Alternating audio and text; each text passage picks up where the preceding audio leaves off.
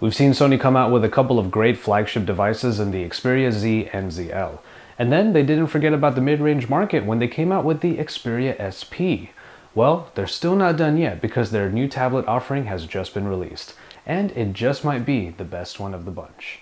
Hey, it's Joshua Vergara from Android Authority. What's going on, everybody? And this is the Sony Xperia Tablet Z.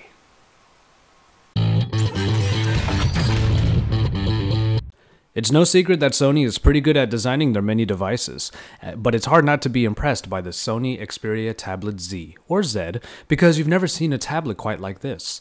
The fully rectangular shape of the Xperia Z smartphone makes a return in a much larger 10-inch design. It's got angular corners and is flat all over. 10-inch tablets are like interactive slates, so it's great to see a slate design taken quite literally in this Sony tablet. What is probably most impressive is how thin and light the Tablet Z is.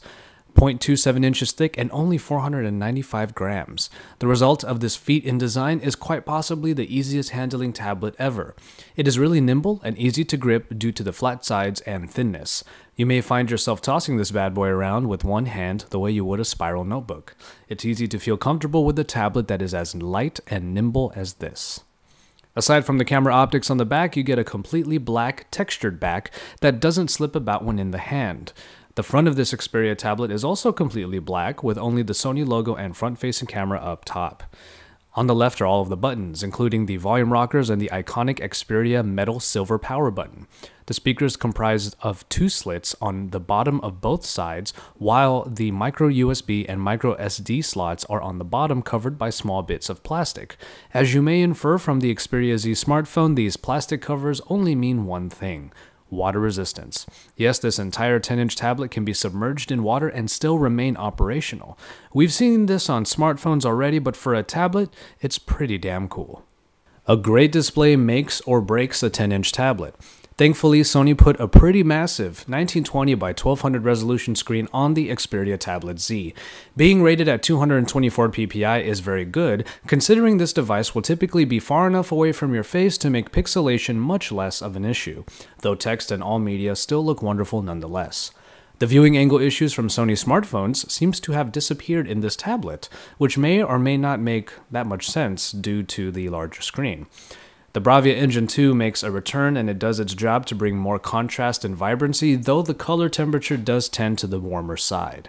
Make no mistake though, this high resolution display will bring loads of fun to your Android tablet experience. With all of the Snapdragon 600 devices hitting the market these days, it might be a bit of a disappointment to find that the Sony Xperia Z sports only the 1.5 GHz Snapdragon S4 Pro that powered last year's best smartphones. Thankfully, this combination with the Adreno 320 and 2GB of RAM still holds up and is far from slow. AnTuTu Benchmark puts this tablet right around where its smartphone counterpart stands on the ladder, pretty squarely around the 20,000 mark. As you can see here, Epic Citadel looks really great and smooth going through all its elements, ending with a very high performance rating. In practice, the S4 Pro definitely shows its tried and true speed as the Xperia tablet flies through its UI. Admittedly, there are some intermittent moments of lag, though they are not only rare, but they do nothing to truly hinder what is otherwise a speedy experience.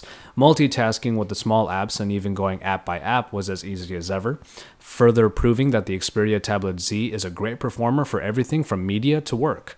Coupled with that great screen, it is certainly a wonderful platform for Android gaming as well.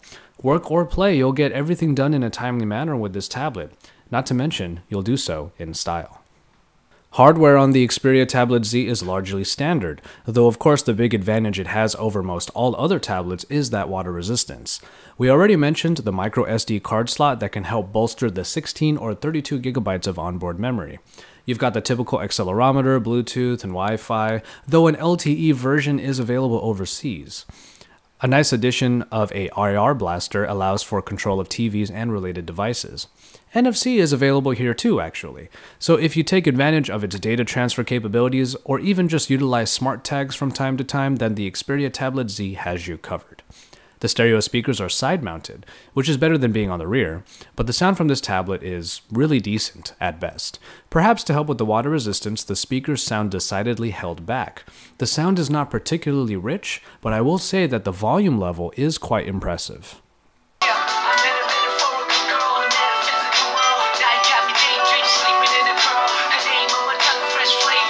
The real gravy of the hardware department lies in the battery. It's great to use a tablet like the Xperia until it runs out of juice. Fortunately, Sony put a massive 6000 mAh battery in the Tablet Z and it goes for a great deal of time. Running a whole season of Community ran down the battery to half life in just over 4 hours, making full media usage probably last up to 8 full hours on a complete charge. With less rigorous usage, you're likely to get up to two whole days of work and play done with no real issues, especially with the power saving features. That's really impressive, and definitely is one of the Tablet Z's best selling points. Compared to its smartphone counterpart, the Xperia Tablet Z does not come with a 13 megapixel camera and instead gets 8. The app does get the same elements of superior auto and the many different scene settings for getting that perfect shot. Otherwise, there are the typical abilities like touch to focus, touch to capture, and burst shots. The extras do include HDR and a sweeping panorama mode. The quality from the resulting pictures in this camera is decent at best. It definitely does not perform as well as the Xperia Z and ZL smartphone cameras, as photos have a level of grain even in full daylight shots and definitely more in lower light shots. The lack of a flash diode is an obvious giveaway that the optics on the Xperia Tablet Z are much like the cameras for pretty much any other tablet. It's there because it has to be, not because it will really blow anyone away with its performance. And finally, we have the software. If you are already familiar with the Xperia UI from Sony's smartphones, the experience here is largely the same. The darker motif of this Jelly Bean 4.1.2 powered UI is complemented by colors in darker tones, a general look reminiscent of Ice Cream Sandwich. The notification dropdown is kept on the bottom right this time and it has some quick settings available in the shade. Navigation buttons are on the bottom left while the small apps and remote control shortcuts are centered. You access apps via a button at the top right this time, and many apps are obviously given a split screen motif to take advantage of the tablet screen, leaving menus on the left for content to be displayed on the right. Other than these location changes, however, the experience is very much what you'd expect. Home screens, app drawer, apps, and settings pages are all customizable by a few themes that simply change the color schemes. The additions include Jelly Bean's Google Now and Sony's small apps, much like in the Xperia smartphones. The small apps are small overlays that go over your current workspace and help support quick multitasking. One addition here is the Clip Manager, which takes an editable screenshot. Sony stables like the Walkman are here too, so even after all these years, the Walkman name still manages to be synonymous with good music players. Social Life is an app that combines the feeds of Facebook, Twitter, and other social networks, so you can use that if you're into that sort of thing. All in all, you get a great suite of software in the Xperia Tablet Z. Productivity and media are both simple to do on such a stylish device. As a premium tablet, the Sony Xperia Z unsurprisingly comes with a pretty hefty price tag, 499 for the 16GB version and 599 for 32GB. While this might be a little steep, it's simply my opinion that having one of the more unique looking and performing tablets in the market does help the price make some sense. And so, there you have it. Sony just might have hit another home run with this foray into the 10-inch tablet market. Bringing out the best of the Sony Xperia Z smartphone into a much larger form factor has resulted in one of the best looking and best handling tablets that are available today. One that is more than capable of work and play. When the looks alone can turn heads and bring out the oohs and ahs, it's really great to see that the rest of the tablet can garner the same response.